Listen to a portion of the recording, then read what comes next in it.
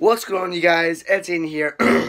and guys, yes, you're seeing me on your screen one ma uh, once again, guys. Oh my goodness, it's been ages. What well, feels like it's been ages since I talked to you guys. Oh my goodness. Oh.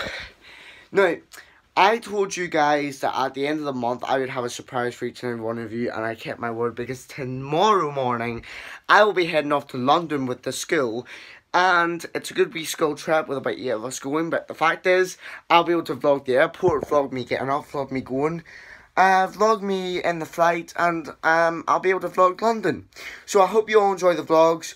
I will try and post them over there but the Wi-Fi might be bad so if the Wi-Fi takes too long or I need or I need or we can't get access to Wi-Fi which hopefully we can but if we can't then that's going to be bad but the fact is yeah so thank you guys for watching. Quick we uh quick wee for you guys. Uh thank you guys for watching and I will see you all tomorrow morning when we head off to London or when we head off to Belfast International. That's where we have to go first. So thank you guys for watching.